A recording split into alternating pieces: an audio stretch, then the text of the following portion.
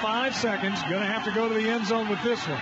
Boykin going to find himself a place. He's going to stand strong. He's going to throw to the end zone. Reaching out, making the catch. He got a touchdown. Seahawks. Are you kidding me? Tanner McEvoy, just give him a chance. Your quarterback, Trevone Boykin, throws it up, and McEvoy uses all six feet six inches to reach up and make that catch.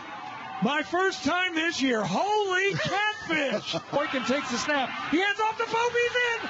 The Seahawks come back and win this football game. And look at them on the field. You'd think that they just won the NFC Championship. Holy smokes, what a finish.